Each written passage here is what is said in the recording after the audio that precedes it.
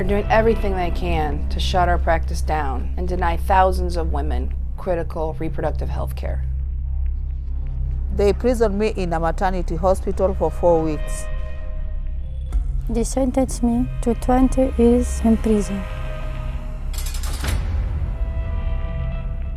What if you could stop a terrible injustice from happening in one woman's life? What if you could change the lives, the future, the world for millions of women across the globe? Every day. Every day. Every day, governments all over the world, including the United States, deny millions of women their fundamental reproductive rights.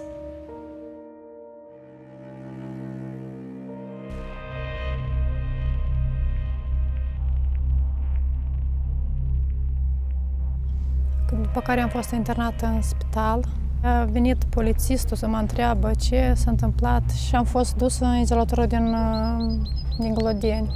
Am fost dusă cu polițistul, cu pistolul de urma mea, așa în stare cum eram eu, nu pe... Nu eram încă în putere. Cine mi-a făcut avort criminal, ei așa spuneau, că i-a făcut avort criminal. Era într-un subsol, cu uși de fier, cu lanțuri la uși.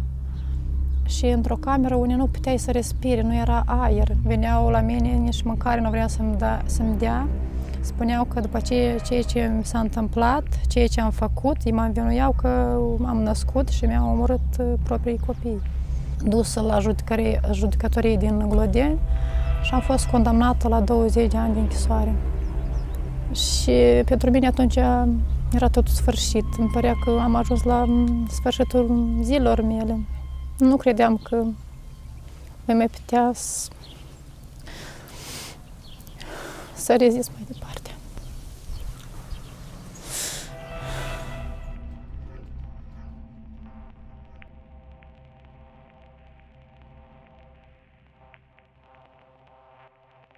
They kept me in the hospital as a prisoner because I didn't have the, enough money. The detention room is next to the toilet. We are 60 women. In one bed, we are sleeping four women. Sometimes we sleep down in the floor. The children were there, nobody take care of them, no water for washing the children. When my kid get, get sick, they don't take care of the kid. When I cry for help, they, still, they tell me that you pay your bill and go outside and take care of yourself on your own. The worst night is when I spent in the hospital, my kids are spending alone in the house, nobody to take care of them. My children were suffering because I can't come out to help them when they are in need. I was feeling very bad, feeling lonely. I was as if I'm in prison.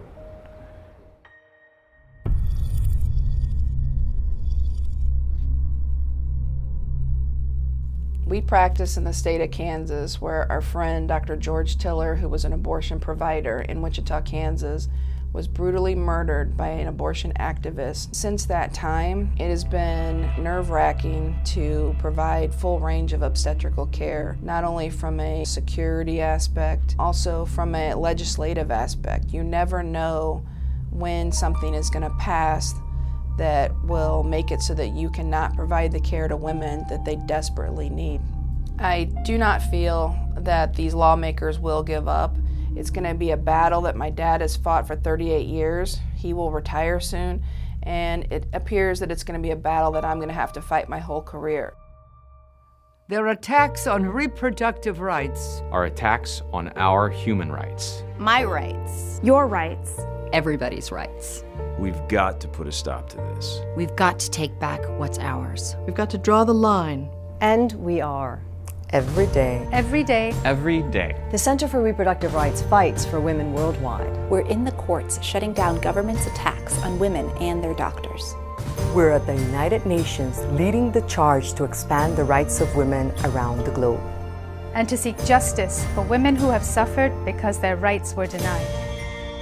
We are fighting to make sure that all pregnant women get the care that they need. To keep contraception affordable and accessible to all. To protect everyone's right to make our own decisions about our reproductive health and future.